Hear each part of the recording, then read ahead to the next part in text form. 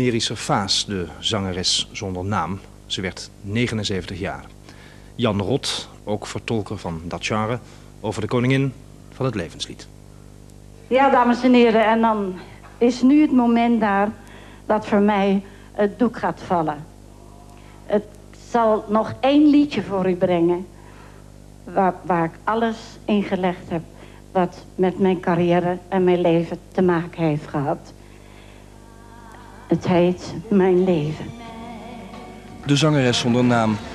Ze zette 600 liedjes op de plaat. En er werden er niet minder dan 16 miljoen verkocht. Ze was goed voor 60 gouden en platina platen. Mag ik van u een lift, meneer? Ik zal er zo dankbaar voor zijn. Dit is wel weer iets afgesloten. Het Nederlandse lied uh, van deze eeuw is hiermee uh, afgesloten. Zegt Jan Rot, zanger en liefhebber van het levenslied.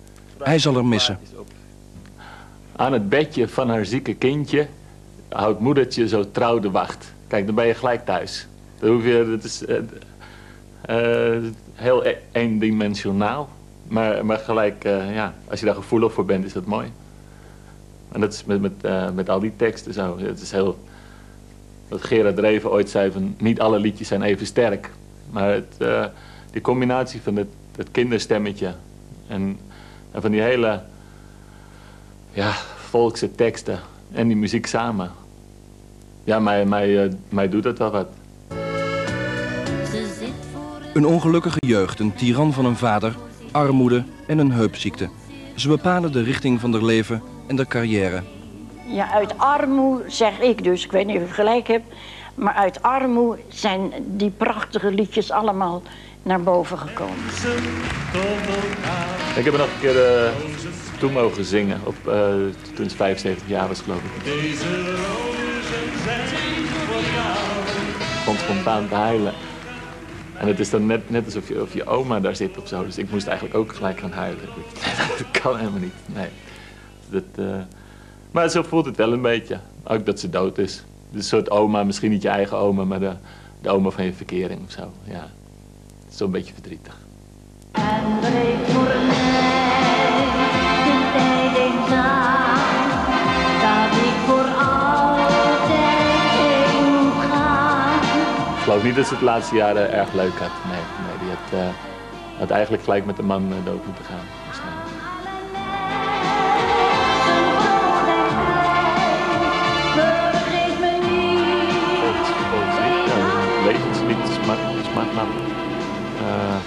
Dat zij als, geen ander heeft, heeft vertolkt. En uh, meer is het niet, maar ook zeker niet minder. Het is uh, van dezelfde grootheid als Johnny Jordaan. Zij was de laatste.